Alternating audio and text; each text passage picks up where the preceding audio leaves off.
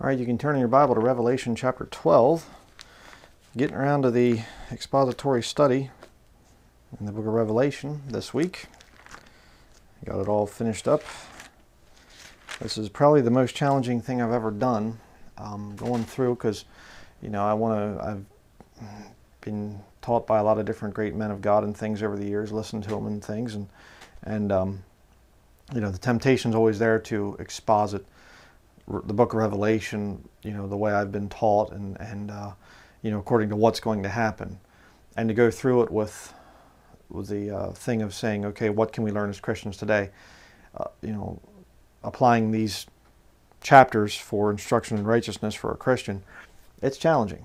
I kind of thought at first, oh, this isn't going to be that hard. And it's a lot harder than I thought. I mean, I'm going through reading these chapters numerous times over and over and over and over and over again and just like lord you know show me something here. So it's an interesting study. I know a lot of you have this has probably gotten these the series of studies has uh, gotten a lot of positive feedback. A lot of you said i'm really enjoying this study and uh, i'm enjoying it too because i learned some things too from this. Um, but it's uh, it's very challenging. So it's it's definitely neat to go through Let's start here in verse 1, Revelation chapter 12, verse 1. And there appeared a great wonder in heaven, a woman clothed with the sun and the moon under her feet, and upon her head a crown of 12 stars. Now, I did the study on the rapture in Revelation chapter 12, verses 1 through 6. Um, I'm not going to be getting into some of the same details here, so we're going to talk a little bit about a few different things. But I said in my other study that there are three possibilities to who this woman is. Okay, first of all, you have Mary being the queen of heaven. You'll see these depictions of Mary, these statues. She's got the moon, a crescent moon underneath her feet. I said in one of my studies it looked like she was standing on top of a Pringles potato chip, you know. But uh, just my weird sense of humor. But um, you, will see that, and then she's got the 12 stars kind of going around her head like this. Okay, that's one possibility. Second possibility is it's the church. Old Testament Israel became New Testament Christianity. Replacement theology, in other words, that's what Catholicism teaches. And number three, you have the nation of Israel. Of course, that's the true interpretation of this, not the Gentile church mixed with Jews from the first century and some Jews that have gotten saved since then, and that's now the Israel. No, no, no, no. It's the nation of Israel in geographic Israel. Not a bunch of black people running around in America calling themselves the true Jews, or a bunch of dumb white people going running around calling themselves the true Jews. Okay, no, it's the people that are in Israel right now, the Jews that speak Hebrew. Okay? The ones that are, you know, prophesied to come back in unbelief. But uh, let's look here. I'm going to show you this thing about the Queen of Heaven. If you've never seen these verses, it's kind of interesting. Go back to Jeremiah, back to your Old Testament, back to the book of Jeremiah, chapter 44. And uh, if you're a Catholic, you need to think about some of this stuff. Jeremiah 44, we'll begin in verse 15. It says here, Then all the men which knew that their wives had burned incense unto other gods, and all the women that stood by, a great multitude, even all the people that dwelt in the land of Egypt in Pathros, answered Jeremiah, saying, As for the word that thou hast spoken unto us in the name of the Lord, we will not hearken unto thee. Yeah. But we will certainly do whatsoever thing goeth forth out of our own mouth, to burn incense unto the Queen of heaven, and to pour out drink offerings unto her, as we have done, we and our fathers, our kings and our princes, in the cities of Judah, and in the st streets of Jerusalem. And for then had we plenty of victuals, and were well, and saw no evil. But since we left off to burn incense to the Queen of Heaven, and to pour out drink offerings unto her, we have wanted all things, and have been consumed by the sword and by the famine. And when we burn incense to the Queen of Heaven, and poured out drink offerings unto her, did we make her cakes to worship her, and pour out drink offerings unto her without our men? So this is predominantly a feministic system. And if you look at Roman Catholicism, it's predominantly women that are in the thing. They make up the largest you know, majority of the people that go to the Catholic Church, the Catholic system. And you know, I've seen videos of Catholics. You know, there's one uh, uh, Catholicism crisis of faith or something. I think. I don't know if I have it here right now. Uh, I know I have it on VHS. Might I have it on DVD as well? I think, but uh, I'm not seeing it. A lot of the videos are on, in storage right now. that I have in my collection. But I remember there was this these Catholics out in front of this Catholic cathedral, and people, these people that made the video were interviewing them, and they said, "What do you think about, you know, Mary and whatever?" And she was like, "This woman's like, well, I kind of like the fact that Mary, you know, uh, I can go to Mary with my concerns and things. I think she understands me as a woman. You know, I, it's not like I have to go to God the Father and stuff. You know, I kind of like Mary. You know." Mm-hmm. A lot of Catholic women feel that way. And what do they do? Well, you burn incense to her. You know, you actually see the Pope going out and he's got the little incense thing and he's going like this. Show me that in Scripture. You know, in the book of Acts where Peter's doing this. It's not there. Oh, that came later. That's right. Yeah, you know, God just kind of didn't really foresee a lot of things to be written into Scripture. He had to wait till later to reveal it to the popes. Sure. But, you know, they burn incense. You have candles lit in front of the Virgin Mary statue, the Queen of Heaven statue, and they call Mary the Queen of Heaven. You'll see that in Catholic writings. So, and they make little cakes to her. It's kind of like the wafer and drink offerings. See, Roman Catholicism is ancient Babylonian paganism. And the practices and worship rituals and things like this go back to ancient Babylon. All right. And you can do the study on it. And it's so funny because Catholics will just vehemently deny it. All that's been disproven. You know, they have uh, this book here, The Two Babylons by Alexander Hislop. Okay. And they'll say, oh, that's that was uh, Protestant propaganda. It's been disproven. It's been disproven. The guy renounced it. You know, Alexander Hislop, he came out and he, and, you know, we've had people disprove it and things like this. No, they haven't. You know, uh, Fox's Book of Martyrs was all a lie there weren't that many Protestants killed. There were, there were some, but not. They'll deny everything. Okay, they deny truth. Had a sister actually send me a thing here. You can go to 1 Timothy chapter 6, verse 5 now. Had a sister send me this article about uh, this Catholic priest. He's a Catholic priest now, but he was Anglican and a, you know something else before that, Protestant, you know. And now he's a defender of the Catholic faith and uh, priest now, and, and uh, he was denying all this connections to Babylonianism and sun worship and stuff like this. Ha ha ha, it's all just a ridiculous lie. You know, I mean, you can show them the truth and they just go, it's all a lie. There, I proved you wrong. Because I said it's a lie, it's wrong. it's like, okay, you know, I can see this stuff working itself out. You know, I can see the fact that you're making round wafers and elevating it slowly and you put it in the monstrance. It's, it's Baal worship. I can see it. It's right in front of my face. Oh no, it's just don't confuse Catholics with the truth, okay, with facts. 1 Timothy chapter 6 verse 5. Perverse disputings of men of corrupt minds and destitute of the truth, supposing gain is godliness, from such withdraw thyself. Now, we saw that back in Jeremiah 44. They're saying, look, we're worshiping the Queen of Heaven, and when we do, good things happen. So how could it be bad? You know, God wouldn't be prospering us if it was bad. So, you know, supposing that gain is godliness. See? What do you do? Well, from such withdraw thyself. Get away from them. You say, your practice is condemned in Scripture. But God's blessing us. You know, you're supposing that gain is godliness. You know, and the pagan people there in Jeremiah 44, they were saying that their God, lowercase g God, or goddess, I should say, they were saying that we're blessed, you know, she's blessing us with all these things. Um, it's not God's blessing. Riches and wealth and things like that, uh, and peaceful times and things, those are just temporary little things that you have there, where God's mercy and grace is there, and His judgment will come. God will only bless those people who truly worship Him in spirit and in truth. All right? So watch out for this thing of the Roman Catholics saying that, you know, that's the Queen of Heaven. Yeah, watch out for that. Go back to Revelation chapter 12 If you want to get a Catholic all worked up, you know, just show them when they say we, you know, you say to them, you know, do you believe that uh, Mary is the Queen of Heaven? And they say, oh yes, she's the Queen of Heaven. She's the Mother of God. Say, okay, well let me show you the Queen of Heaven in the Bible. You know, take them back to Jeremiah 44. All right. Verse 2, Revelation chapter 12, verse 2.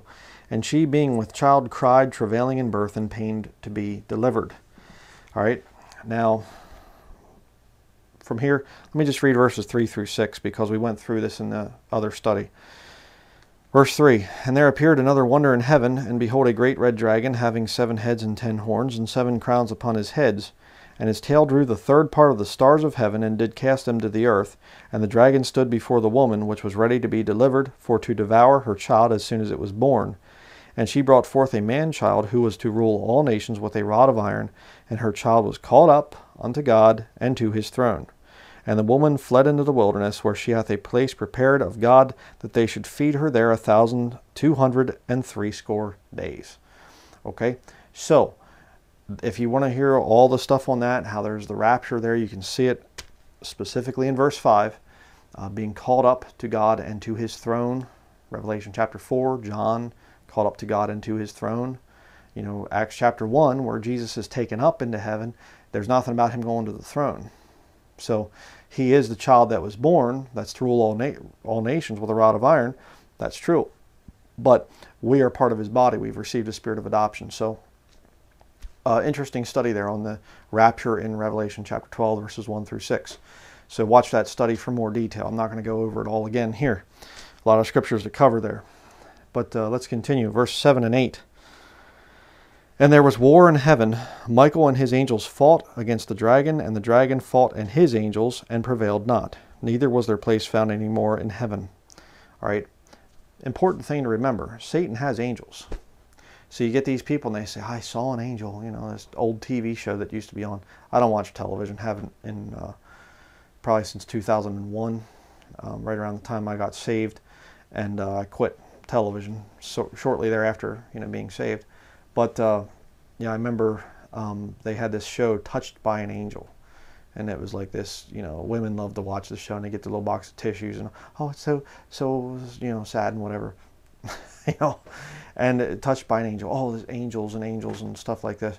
And you get all these people, you know, angels are everywhere and, uh, you know, angels and stuff.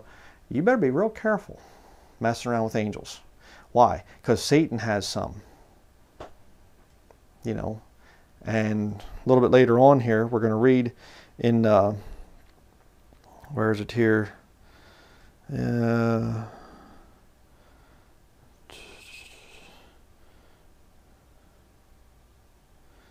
trying to see where the verse is. We'll get to it here in just a little bit. I'm just kind of skimming with my eyes. He takes a third of the angels with him. Calls the, the stars of heaven there. Okay, verse 4. I was thinking we were going to get to it, but actually, no, it's verse 4. His tail drew the third part of the stars of heaven and did cast them to the earth. Talking about angels. So a third of the angels are on Satan's side. And now this is a future event, sure. But the point is, you know, there's already a lot of angels that are rebelling against the Lord in heaven before God's throne.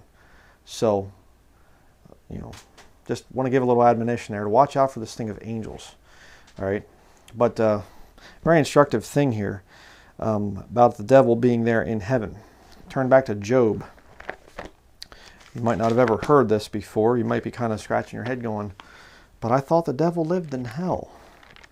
Well, that's where Hollywood has him living. But that's not what the Bible teaches. Uh, the devil's never been to hell. He will one day, but he doesn't want to go there. He doesn't sit on some throne down there in the flames, you know, just kind of sitting there watching all the people burning in hell. That's not the devil. That is a figment of an artist's imagination. Job chapter 1, verse 6. Now there was a day when the sons of God came to present themselves before the Lord, and Satan came also among them. Sons of God in the Old Testament is always, 100% of the time, the time, always a reference to angels. Okay? Always. Uh, verse 7 And the Lord said unto Satan, Whence comest thou? Then Satan answered the Lord and said, From going to and fro in the earth, and from walking up and down in it. Okay? Go over to chapter 2. Job chapter 2 verse 1 and 2. Again, there was a day when the sons of God came to present themselves before the Lord, and Satan came also among them to present himself before the Lord. And the Lord said unto Satan, From whence comest thou? And Satan answered the Lord and said, From going to and fro in the earth, and from walking up and down in it. Okay? Very important for you to remember as a Christian. Satan reports before God. Okay, is that somebody who's equal in authority or a subordinate? Subordinate. That's not somebody who's like, you know, you see these these images of like the devil and God fighting each other. Uh-uh. The devil is a created being, and he is submissive to the authority and power of Almighty God. So the devil comes in, it's like roll call, you know, kind of thing, and they all stand there and stuff, and it's like, you know, I don't know, I don't. The Lord probably doesn't have to read a list and stuff, you know. Uh, Michael here, you know, Gabriel here, Satan here, you know. no, I don't think that that has to be, but the whole point is he has to come before God, before His throne, and stand there, and the Lord says, "Hey, whence comest thou?" I'm going to and fro in the earth and walking up and down in it, you know. don't want to give out more information. Doesn't have to because God sees everything He does. I mean, you know, it's just like kind of kooky nonsense. This this mindset that a lot of people have that Satan is just this like, oh man, like this really powerful guy, and, and the Lord's this really powerful guy, and they're just warring against each other. God's in control of everything. Absolutely everything. Kind of makes you wonder why anybody want to worship the devil. You're worshiping a subservient loser. And I realize he's very powerful in things, and the devil can destroy anybody if the Lord allows him. But uh, why would anybody want to worship Lucifer, Satan? It's rather stupid. Verse 9. And by the way, as I've said in other studies, again, if you haven't heard this, um, we're going to see this. So, again, a very, very weird thing. You think to yourself, you know, um, you know, uh, the the old hymn I'm thinking of right now. It's you know, uh, what joy, oh delight, should we go without dying? No sickness, no sadness, no dread, and no crying. Called up through the clouds with our Lord into glory, when Jesus receives His own. You know, when you think about that, and it's like, oh Lord Jesus, how long, how long? ere we shout the glad song, Christ returneth, hallelujah, hallelujah, amen, hallelujah, amen. You know, and you think, wow, it's going to be so neat to get there and we'll be with the saints and everything, and we're going to be with, ever with the Lord. That's true. But remember, the devil's going to be there too. So we're going to get there and we're just going to be like having a good time and stuff and go in there before the throne and it's just like, this is great. And you look over and there's this grumpy guy standing there. You know, you go, that's the devil, isn't he? Lord's going to be like, yep, there he is. We're to be like, hi. know? And as time goes by, he's going to have to watch the judgment seat of Christ, I believe, you know, and then, and, uh, and then it's going to be like, you know, the attitudes are going to swell and eventually there's going to be a fight picked. And the devil's going to get kicked out and his angels with him. Bye bye. Go down to the earth. Verse 9 And the great dragon was cast out, that old serpent called the devil and Satan. There's no question about who this is, in other words, which deceiveth the whole world. And he was he was cast out into the earth, and his angels were cast out with him. Again, you want a proof text proving that angels are called stars in the Bible. Right there, his angels are cast out with him. Go up to verse 4. Uh, you know, his tail drew the third part of the stars of heaven and did cast them to the earth. You know, angels are stars. If you don't believe that, well, you're just not comparing Scripture with Scripture. But uh, what about this thing of deceiving the whole world? Turn to 2 Corinthians chapter 4.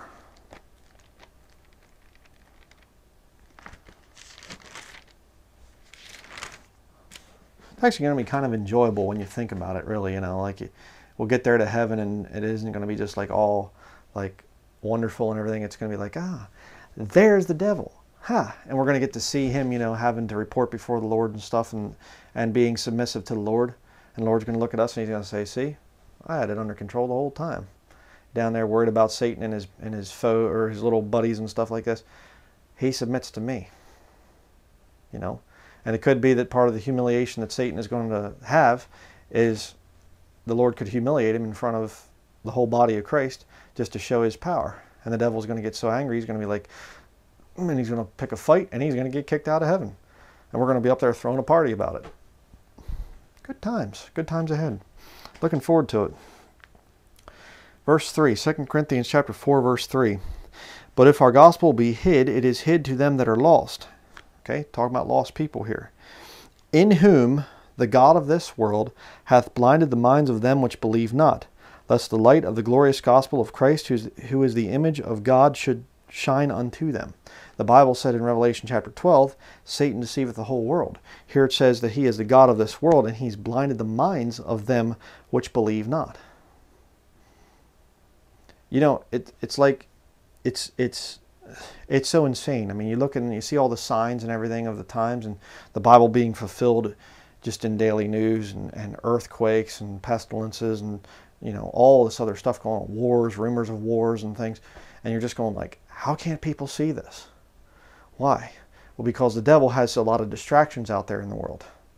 And he's worked very hard to, uh, to deceive people, you know, to give them, to educate them in the wrong way. You know, um, it's just incredible that people can't see it. It's just like it's just right before your eyes. I mean, it's just right there. And yet you have lost people, they just can't see it. You try to explain, explain it to them, and you're just like, you're talking another language to these people. I know we had a letter from a, a sister, a friend of the ministry, and um, she was saying, you know, she's just like, I, I can't even relate to people. You know, it's it's just like these people are totally, it's like they're a different, I hate to say it, but a different species or something. You know, it's just like, you know, people are so interested in all this deception. You know, uh, selling their soul, trading their soul in eternity for cell phones and computers and fancy cars and expensive houses and vacations to Disneyland or something like this, and you're going, don't you understand what's going on? You know, it's incredible. What happens when the devil comes down to the earth? Revelation chapter 12. Go back to Revelation chapter 12.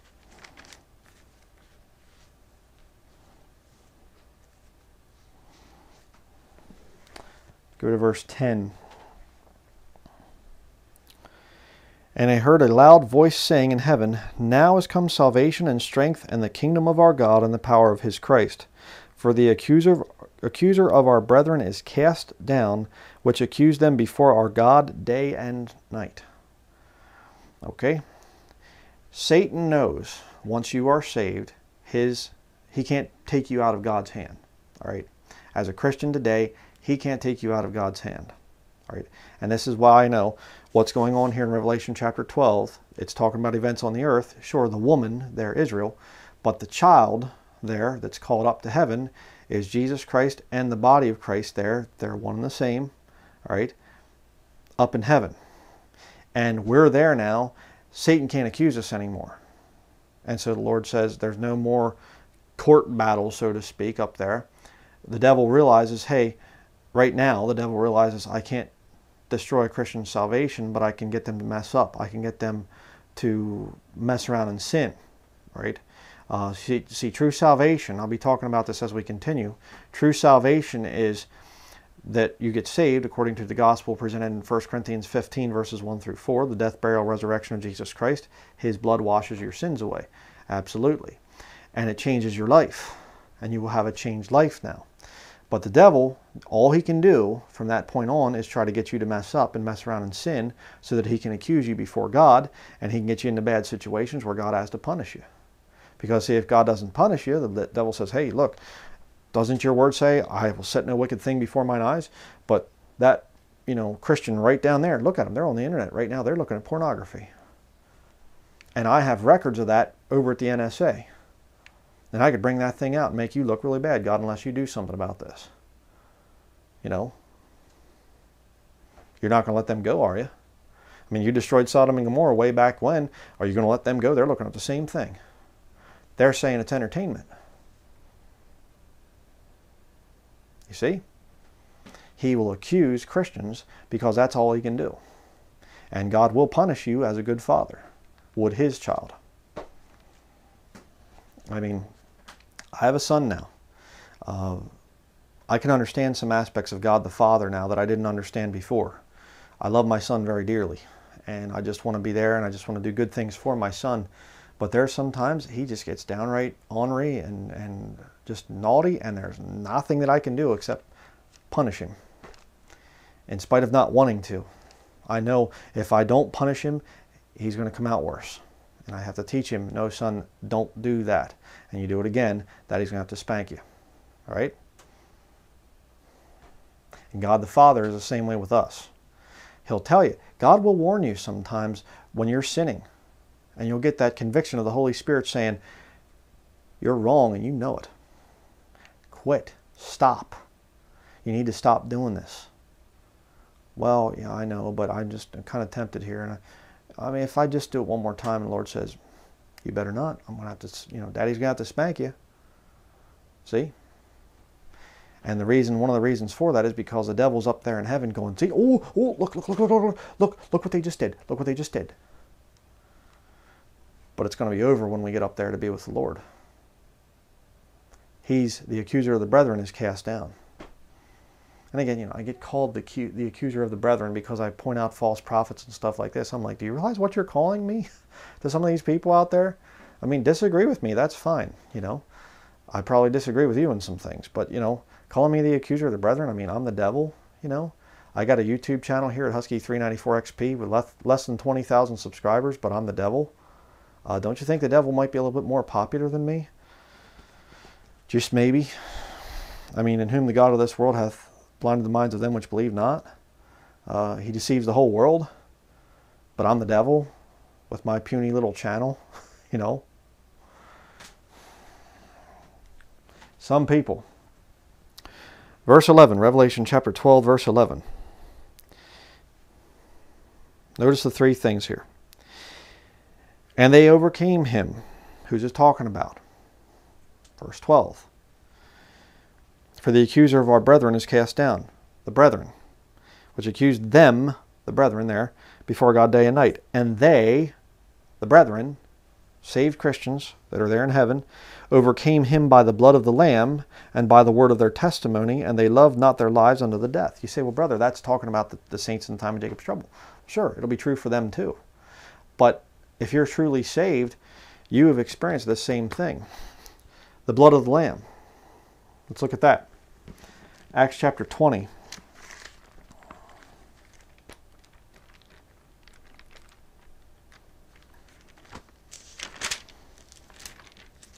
Acts chapter 20, verse 28. Take heed therefore unto yourselves and to all the flock over the which the Holy Ghost hath made you overseers, to feed the church of God, which he, God, hath purchased with his, God, still in context, own blood. The blood that Jesus shed on the cross was God's blood. It was eternal. It wasn't like my blood or your blood. All right? The life of the flesh is in the blood, you see. My flesh is, the life in it is my blood. You take my blood away, I'm not going to be going very far. okay? Jesus Christ, his life that was in his flesh was God's blood. It was eternal blood. That's why it's able to take your sins away, you see. So we as Christians can overcome the devil saying things about us by the blood of the Lamb. We are purchased by that blood. You see it right there. Okay? So it's not that, you know, well, my the blood of, of Jesus Christ is kind of there and, and uh, you know, it's just kind of like I, I have kind of a hold of it somehow and you know and the devil can knock it out of my hands and then I've lost it or something because of sin. Oh no no no no no no. The blood was shed to purchase you. Read Ephesians chapter 1 sometime. You know, I have a whole expository study on Ephesians chapter 1. You can watch that. Okay? That blood was shed to purchase us. We are the purchased possession of Almighty God. That's a thought. Okay? Um, go to 1 John chapter 1.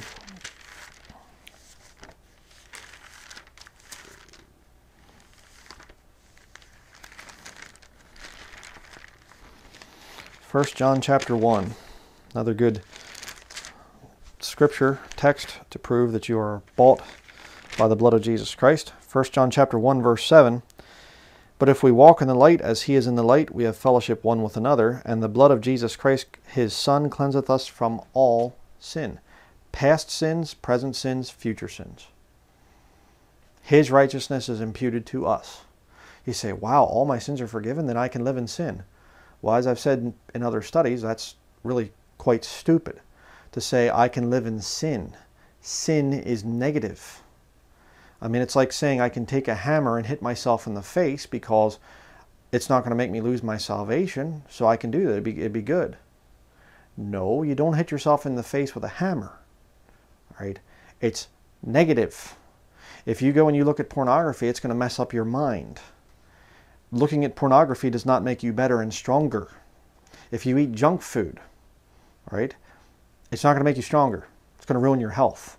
You're going to be sick. You're going to have headaches. You're going to have sugar highs, sugar lows, all kinds of other issues. You're going to get cancer eventually, diabetes, whatever.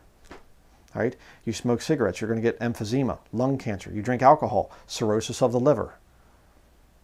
Not to mention it's extremely expensive. Okay? And most alcohol today is synthetic. It's not even, you know, good fermented types of grape juice and things like that. There's arguments for that. I understand that. Even some of the uh, beers that are made correctly, like I know over in Germany and things, I've, I've heard about this, that they have like wheat and they, you know, make these wheat beers and things and they use yeast and stuff and whatever. And you can get ones that are fairly, you know, like fermented and stuff. And you can argue it back and forth, whatever. I don't drink alcohol for any reason because it's just, I don't need it. You know, it's not a cultural thing for me as far as the way I was raised. But whatever. Like I said, I'm not going to get into that big debate. But there's things that are out there that the Bible condemns. The Bible does condemn drunkenness. Um, there are things that are out there that you mess with, it will mess with your flesh. And it's going to make your life more miserable. So when I say Jesus Christ has forgiven all of your sins, past, present, future, that doesn't give you license to sin. That gives you freedom, understanding there's nothing I can do to make myself lose this salvation. I am God's purchased possession.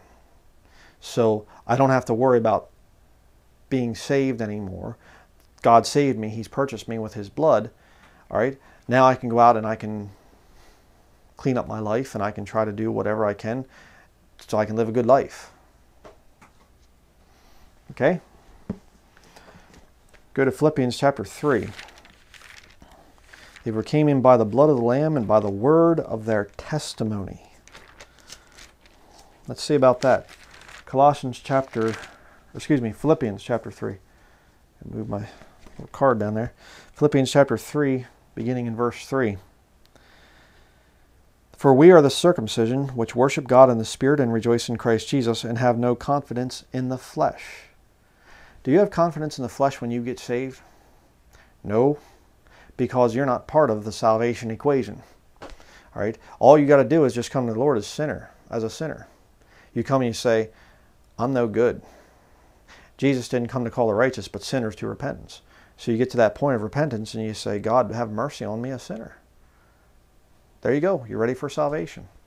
You don't have any confidence in your flesh. You don't say, well, I understand that all of sin, but I mean, I'm okay, I'm a sinner, but I'm not like as bad as Hitler. I'm not as bad as some other people. I've never killed anybody. You know, again, when I used to go out door to door, that's what we get all the time. Uh, if you die today, would you go to heaven or hell? I think I'd go to heaven. Why? I'm a pretty good person. I mean, I've never killed anybody. I've never robbed a bank. They have confidence in their flesh. They cannot imagine standing before a holy, perfect, righteous God and having the God say, having that God say to them, "Depart from me, ye cursed," you know, into everlasting fire. Oh, oh no, not me, cursed. I'm a good person. I've done some good things. I mean, there was this old woman the one time at the grocery store. I helped her put her bags in, their, in her car, and I, I've done some good things. You know, see, they have confidence in the flesh. As a Christian, you have no confidence in the flesh. You get to that point where you get saved and you go, man, I am such a rotten individual. My word. I sure am glad Jesus died on the cross and paid for my sins because I sure could not do it on my own. If I had to do something to merit salvation, I'd never make it. Never. Verse 4, Philippians 3 4. Though I might also have confidence in the flesh, if any other man thinketh that he hath whereof he might trust in the flesh, I more. Paul speaking here circumcised the eighth day, of the stock of Israel, of the tribe of Benjamin, and Hebrew of the Hebrews, as touching the law, a Pharisee, concerning zeal, persecuting the church, touching the righteousness which is in the law, blameless. A lot of people say, well, that's not possible. Oh, sure, it was possible.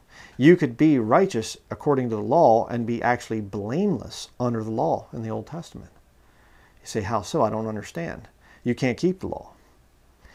There was a system of sacrifices there to pay for your sins. As far as, you know, making restitution and things like that, your sins couldn't be taken away until the perfect sacrifice of the Lamb of God happened, Jesus Christ. But you could make payment for your sins under the Old Testament system, much like Roman Catholicism today. You go in and the guy says, "Well, you know, I kind of, you know, was at the bar. You know, hey, forgive me, Father, for I have sinned."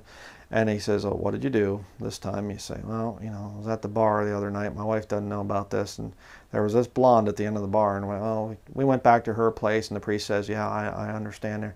Okay, well, put some money in the box out there and we'll have you do a little bit of penance and things like this and we'll just kind of forget the whole thing. We'll give you a little indulgence, you know, if the uh, price is right. See? The people in the Old Testament were abusing the system. That's why when Jesus Christ showed up, he's saying, You're whited sepulchres. You appear outward to be righteous, but inside you're full of dead men's bones. Mm-hmm. That's what Paul was doing. Paul was a trained, he was trained under the learned Gamaliel. You study about that in the book of Acts. You know, this, I mean, Paul was a very, very highly educated, you know, he'd have been like a, you know, very, I don't know if they have PhDs in Judaism or whatever. You know, I mean, they do if you go to a secular university, but I'm saying different levels of rabbi, you know. I don't know if you have arch rabbi or cardinal rabbi or pope rabbi. But, you know, but the point is, you know, you, Paul was very high ranking within the circles of Judaism back in the first century before he got saved. So, yes, he could be blameless under that Old Testament system.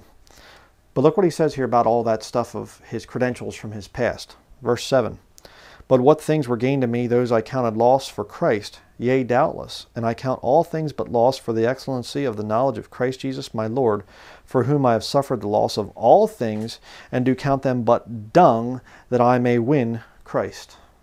You know, that's the decision you have to make when you come to, to the Lord for salvation. You have to look at your old life and you have to say, Am I willing to cut ties with all that? I don't even know what all the Lord's going to require of me. But you know what? All that stuff from my past, my good deeds and my good things and all the nice little connections and friends and whatever else, acquaintances that I had, I'll leave all that stuff behind. Lord, if you save me, my life is yours. I don't even know what all that means yet, but save me. Please, please, God, have mercy on me, a sinner. And you know what? After you get saved and, and you see what the Lord does for you and how He changes your life, you'll look back at your previous lost life and you go, I count all things but dung, that I may win Christ.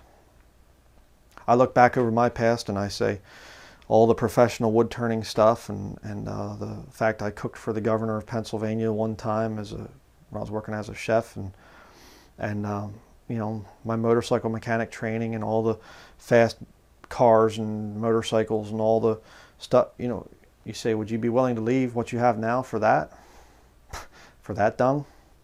I don't think so. You know what I'm talking about out there if you're saved.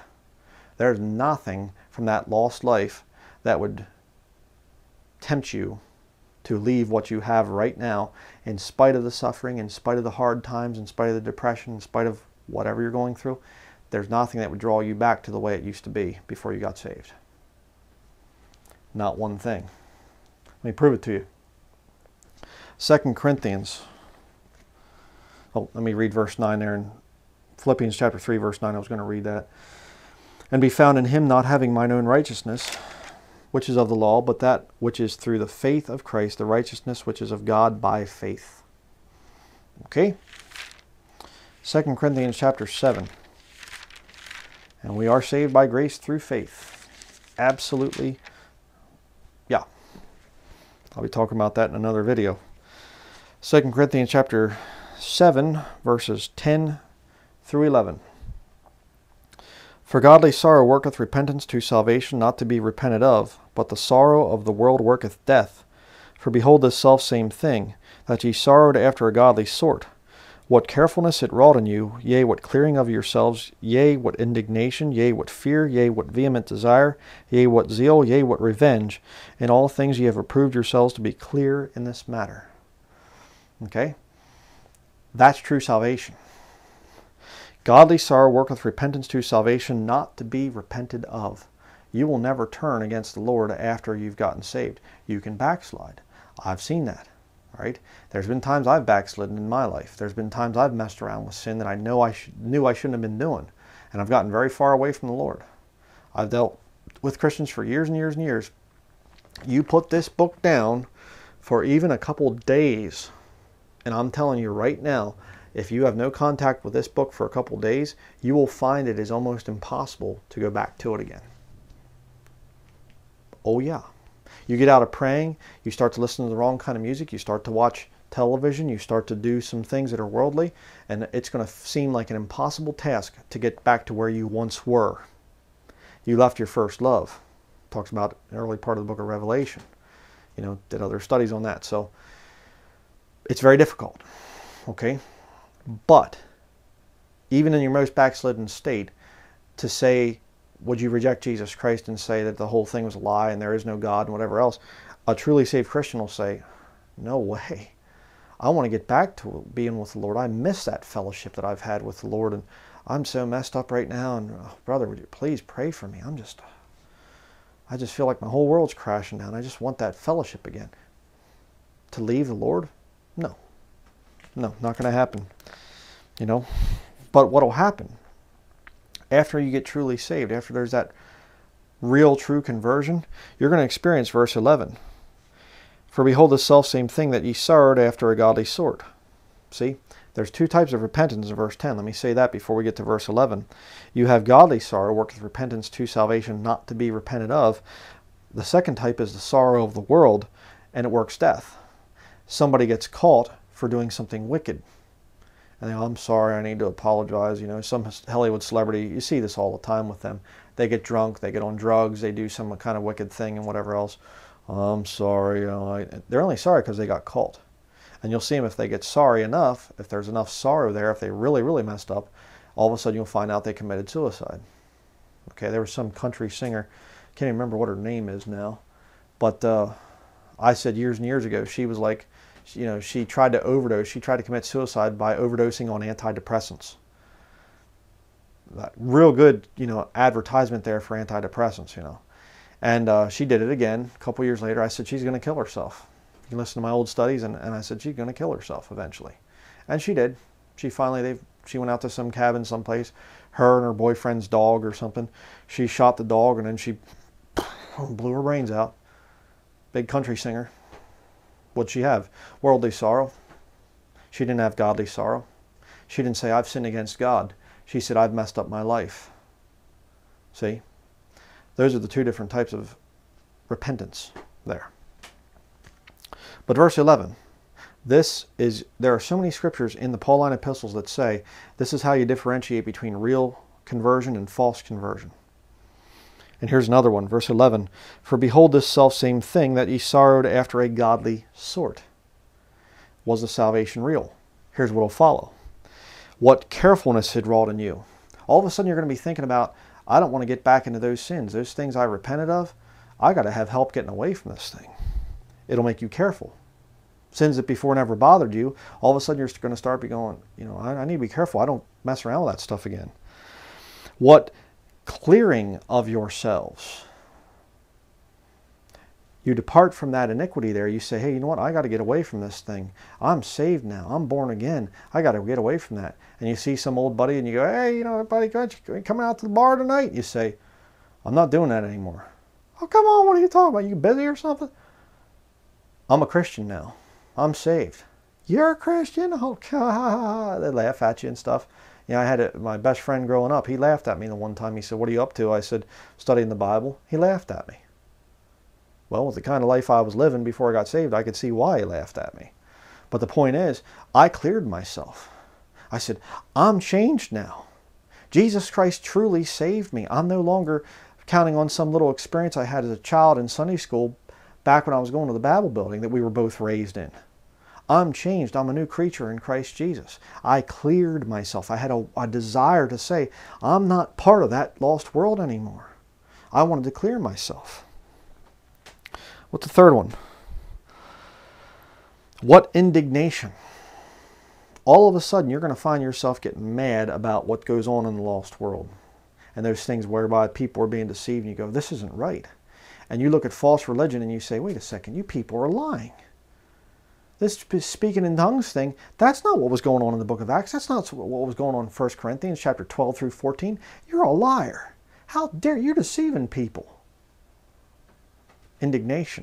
You look at Roman Catholicism and you see these priests molesting these children. It's called satanic ritual abuse, is why they do that thing, because it messes up their mind. The Catechism teaches the priest is another Christ, and they're being raped by Christ. You see what it does to the mind of a child? It destroys them. And it, what does it do to you as a Christian? It gives you indignation. You say, How dare these stinking Catholic priests do this? I can't believe this. You see him, you know, I saw one recently. He's raping children and stuff like this. And the Pope said he condemned him to, you know, he sentenced him to a life of prayer. Like that's a punishment, you know. Some dirty, stinking pedophile priest, and he's sentenced to a life of prayer. See, indignation, I'm demonstrating. What fear? The fear of the Lord is the beginning of wisdom, the Bible says. You'll start to fear God. You don't fear God very much when you're lost. Okay? You'll find ways to, to weasel around and do your sins and stuff like this. You'll, if you're a Catholic, you go to the right priest, you know, the, that's not too tough on certain sins when you go into the confessional. Uh, you'll find ways to skirt systems and things like that. But you get saved and all of a sudden you start going, I'm accountable to God. Hmm. Ugh. I'm going to have to answer for taking this action or doing this or doing that. What fear? What's the next one? Yea, what vehement desire. Did you have a desire for this book when you were lost? No. Did you have a desire to listen to the right kind of hymns? No. Did you have a desire for truth? Just nonstop? I mean, I, I can't tell you how many people have contacted me over the years and said, you know, they've learned a lot from me. Praise the Lord. I thank, I thank the Lord for that. And it's just like, I just like listen to like 10 hours, 12 hours of, of preaching, you know, you and a couple other brothers and stuff. And it's just like, I listen to 10 or 12 hours a day. you know, it's just like, yeah, you know, everywhere you go, it's like, I want to hear another sermon. You're just, you get online, you're like, I got to do some emailing and stuff, but I want to hear some sermon. I want to hear some preaching. And I just, that's all I want to do anymore. You'll go through that time period. All right. Vehement desire. But you see these Christians and stuff, and it's just like you talk to them, and it's just all about the world and the weather and sports. And did you see the Super Bowl? And hey, did you see that new 2018 uh, Chevy truck that they're coming out with? I don't really like the style of it. And blah, blah, blah, you say, hey, you know what? The Bible. I was I was looking through the Bible and I saw this thing. Isn't it amazing? This right here condemns Roman Catholicism, and he'll go, yeah, well, that's interesting. Anyways, well, it's nice talking to you. And they don't have the vehement desire to serve the Lord. They don't have passion for truth. And that's why a lot of times, you know, you see me do studies and I'm, I'm condemning something and stuff, and I'm like, the Lord showed us where the, the roots of this thing is or whatever. And I say, if you don't feel this way, you might want to check and see if you're saved. The reason I'm saying that is because if you don't have the vehement desire there, there are certain things that should mean something to you as a Christian. And if you don't have that vehement desire there, if you don't have that passion for truth, I say just make sure you're saved. I'm not saying, I'm not condemning everybody and going, you're lost, you're lost, you're lost. I, am the only one that's in this system and only a few of my viewers on YouTube. People say that about me, which is satanic lie. You know, that like I don't want other people to be saved. No, I just dedicated my life to serving the Lord and trying to get as many people saved as I can. But true salvation. I'm never ever going to lead people in false professions of faith. Disgusting. Yea, what zeal? Are you zealous for the things of the Lord? You should be. Again, I could say a whole lot on that. But uh, what revenge? You know, well, you know, the Bible says, Vengeance is mine, saith the Lord, I will repay. Yes, that's true. Very true. That's talking about people doing you wrong personally. But when you're done wrong by systems, wickedness and things out there in the world, you should get revenge on them. See, that Catholic Church, they brainwashed me all those years. I'm going to start a ministry. Ex-Catholics for Christ. two very fine brothers here on YouTube. You say, well, brother, they did. We're never going to agree on every little fine point of doctrine and stuff like this. Don't go searching through James and Patrick Patel's YouTube ministry and stuff. Those guys are doing good work for the Lord. All right. Uh, James and I have have uh, you know we've had a few little things over the years and stuff like that, but I'm just like I can look at James and I'm like he's doing great work for the Lord. Those guys are out on the streets. They're out there putting their faith into practice. I respect both men very highly, James and his father Patrick.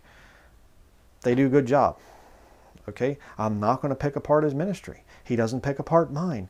He's got his ministry. He does his thing. They have a, a radio program and stuff like that too. Praise the Lord for those two brothers. I thank the Lord for them. Okay? David Daniels. I'm sure I could find some things, I could pick at him and stuff like but I'm not going to. He's doing work for the Lord right? Doing great work for the Lord. He's exposing the whole Sinaiticus thing, or Sinaiticus, however you want to say the dumb thing, uh, pagan uh, manuscript that's used in the new versions. Uh, Codex uh, Aleph is what it's called, as a designation there. And he's picking that thing apart, showing, hey, this, this thing's just, it's a forgery. It's not even real. And all these new versions, oh, we found older and better manuscripts. No, you found a forgery, you know, that was made in the 19th century, essentially. But Tremendous work. Okay? Those guys came out of systems that now they're turning against those systems. They have revenge. James and Patrick Patel were both Roman Catholic. Now they have ex Catholics for Christ. You see? Revenge. They're going against those systems that once deceived them. David Daniels. He's going against the system of Alexandrian scholarship that once brainwashed him to be against the King James Bible. Now he defends it. You see, a changed life is part of true conversion. Finishing the verse, in all things ye have approved yourselves to be clear in this matter. Do you have to approve yourself as a Christian? Well, not in America, because in America you can just say you're a Christian and everybody just, oh, that's wonderful and everything. But you go to some country where uh, being a Christian gets you killed um, you better start to approve people when they come and they want to be part of your group. When they want to come and fellowship with you, you have to ask them some questions. That was a practice we had when we had our house church, Bible Believers Fellowship, down in Lancaster County, Pennsylvania. We had numerous people come along. We had this guy come the one time, we called him Crazy Charlie. And uh, we met him out in a public place and things. And, uh, you know, myself and Brother Jesse Dulesky. And and uh, we're sitting down with the guy, and he was, oh, I want to join your house church, you know, and I want to, you know, really excited to be part of your fellowship and everything else. And it was just like I was going, just like the Holy Spirit was going, no, no, no, no. And I'm like, okay, well, you know, what do you believe about this? What do you believe about that? And it was just like I got this really weird feeling around the guy. It turned out he was a total heretic. I mean, he was into all kinds of weird stuff. He was a heroin addict and all kinds. I mean, he was he was warped with a capital W, and he was he was coming out calling himself the worm and the worm is here to rebuke you, you wicked false prophet. You know, after I told him no, you're not going to be part of it. I mean, I flat out told him to his face, no, sorry, you can't be part of our fellowship. Uh, you got some major issues and things, and he just went whew, off the other direction. you know, um, so uh, he didn't approve himself. And I'm going to tell you right now, there's a lot of ministries. You can go back to, um, okay, go to uh, Philippians next. Let me finish up my point here. Um, there's a lot of ministries here on YouTube that have not approved themselves. And uh, they're, they started out acting like Bible believers, and then they come out and they get weirder and weirder and weirder and weirder. And, you know, and then they'll, and then their disciples will come to me and they'll say, I hate to see you changing your stance. You're really starting to fall away from the truth. I'm going, I'm preaching the same stuff that I preached way back in 2008 when I first was starting to come onto YouTube. 2009, I really started to do a lot of ministry stuff. I preach the same things. I still preach repentance to salvation. I still preach that there are false converts that just do this easy believism thing or that go to the other side of lordship salvation where they're saying you have to be sinlessly perfect and then God grants you repentance and then salvation you know, this hyper Calvinism stuff. You know, I mean, I still preach the same gospel, but I see these people, you're really starting to fall away. What's going on? Well, they're not approved. Not because I want to single them out and, and not you're not part of my system or something. I want people to be saved. But I see these people, they've go off. You know, First John talks about the thing of, uh, you know, the spirit of Antichrist. They went out from us, but they were not of us. For if they had been of us, they would no doubt have continued with us. And I've seen that thing over the years. I used to endorse a lot of ministries. I don't anymore. At one point, I was endorsing uh, Mike Hoggard, you know, and then he came out totally against eternal security. He used to be. I had I had a video. It's in my collection of him uh, defending the pre-trib rapture. Now he comes out vehemently against the pre-trib rapture. He's against dispensational teaching. The guy's gone totally off. Why? What's what's going on? He's not approved. And we as Christians have to approve ministries that are out there.